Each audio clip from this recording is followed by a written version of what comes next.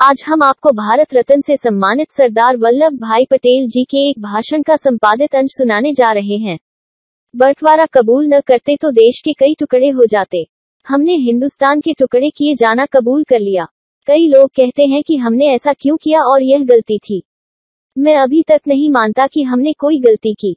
साथ ही यह मानता हूँ कि अगर हमने हिंदुस्तान के टुकड़े मंजूर नहीं किए होते तो आज जो हालत है, उससे भी बहुत बुरी हालत होने वाली थी। तब हिंदुस्तान के दो टुकड़े नहीं, बल्कि अनेक टुकड़े हो जाने वाले थे। मैं आपको इस बात की गहराई में नहीं ले जाना चाहता हूँ, लेकिन यह बात मैं अनुभव के आधार पर बताना चाहता हूँ। मेरे सामने वह सारी तस्वीर है कि हम किस तरह एक साल सरकार चला पाए थे और अगर हमने यह चीज़ कबूल न की होती तो क्या होता? लेकिन वे सारी बातें मैं आपको बताऊँगा तो बहुत वक्त लग जाएगा। आप इतना भरोसा रखें कि जब मैंने और मेरे भाई नेहरू ने यह कबूल किया कि अच्छा ठीक है अगर बंटवारा ज़रूरी है और इसके बिना मुसलमान नहीं मानते तो हम इसके लिए भी तैयार हैं। जब तक हम परदेशियों को न हट दें, विदेशी हुकूमत न हटा दे, तब तक रोज़ाना ऐसी हालत होती जाती थी।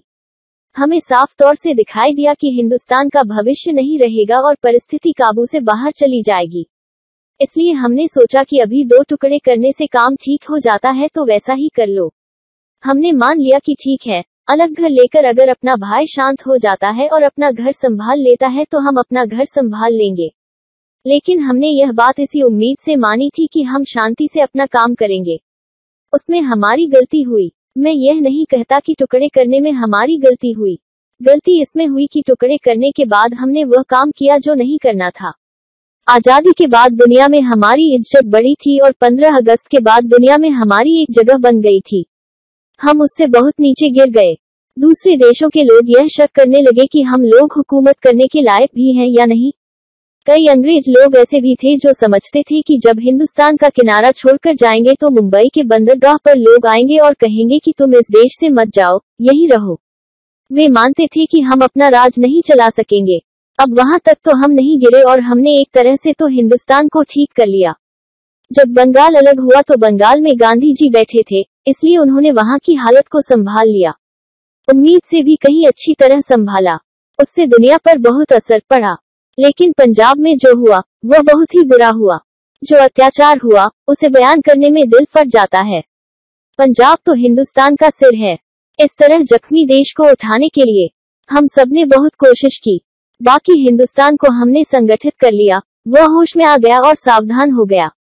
जब तक हिंदुस्तान का हृदय परिवर्तन न हो जाए और जैसे देश को काम करना चाहे, वह न करे तब तक हमारा काम पूरा नहीं होगा। तब तक गांधी जी को चैन नहीं आएगा, वह बेचैन है। उनको दिल्ली में छोड़कर आया हूँ। मुझे भी बहुत दर्द हुआ है। उन दिनों गांधी जी दिल्ली में अपने जीवन का अंतिम उपवास कर रहे थे, लेकिन यहाँ न आता तो भी मुसीबत थी।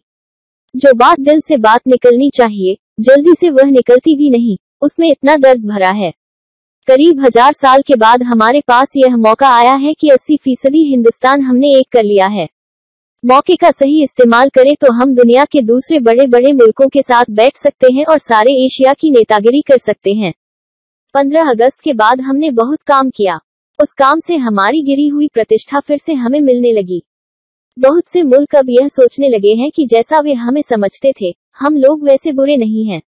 हिंदुस्तान की जड़ें भूत मज़बूत होती जा रही हैं और उनको वे हिला नहीं सकेंगे। चार महीने में दो प्रांतों के टुकड़े किए और कई प्रांतों में जनमत लिया। असम में से एक टुकड़ा निकाल लेने का हौसला भी कर लिया गया। बंगाल और पंजाब के टुकड़े किए। इन्हीं चार महीनों में पाकिस्तान और हिंदुस्तान के बीच सारी पुरानी मिल्कियत का भी हमने हिस्सा बांट कर लिया। पिछले चार महीनों में हमने न केवल यह सब किया बल्कि इसके साथ साथ लाखों आदमी पंजाब में एक तरफ़ से दूसरी तरफ़ गए और दूसरी तरफ़ से इस तरफ़ लाए गए। समय आया है कि इस काम में जो मुसीबत आई थी, आपको उसके बारे में बताऊँ। एक लंबा सा, साठ माइनस साठ मील का लंबा पैदल चलता जुलूस एक तरफ़ से दूसरी तरफ़ के लिए चला तो दूसरा उस तरफ़ से इस तरफ़ के लिए। दस दस लाख आदमी एक साथ, जिनमें लाखों बच्चे और औरतें थी, एक तरफ़ से दूसरी तरफ़ गए या आए। जो ज़िंदा थे, वे गाड़ी, बैल, भैंस सभी कुछ लेकर चलते चलते निकले। साथ में थोड़ी सी पुलिस या थोड़ी सी फौज ही होती थी। ऊपर से मूसलाधार बारिश। बच्चों और औरतों तक के पास का कपड़ा नहीं, खाने का इंतज़ाम नहीं। दो दो महीनों तक इस तरह से लोग चलते ही रहे। तभी हैजा फैला और सैकड़ों हज़ारों लोग मरने लगे। इसी हालत में अमृतसर शहर के बीच में से मुसलमानों का जुलूस उधर जाने को हुआ। अमृतसर हिंदुओं सिखों से भरा हुआ था। सिखों ने इनकार किया कि इधर से ये मुसलमान लोग नहीं जा सकते। वो साठ मील का लंबा जुलूस अब वहीं पड़ा था। इधर लोगों ने जिद पकड़ ली थी कि जाने नहीं देंगे। उधर दूसरी तरफ़ को भी रोक लिया गया। लोग गुस्से में भरे हुए थे। अपने मकान जले हैं। बीवी बच्चे कत्ल हो गए हैं। खाने पीने की भी कोई चीज़ नहीं बची। आँखें लाल हैं और तलवार लेकर निकल आए कि नहीं जने देंगे। तब फौज से भी यह काम नहीं होता। फौज आखिर बंदूक चलाकर कितने हिंदुओं को मारे, कितने सिखों को मारे, तब मैं अमृतसर गया। सिख लीडरों से बातचीत की।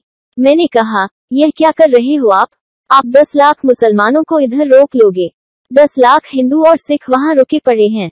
उन अभागों के ऊपर पानी बरस रहा है। नीचे भी सब पानी है। कपड़े भीगे हैं। नींद नहीं है। खाना नहीं है और हैजा शुरू हो गया है।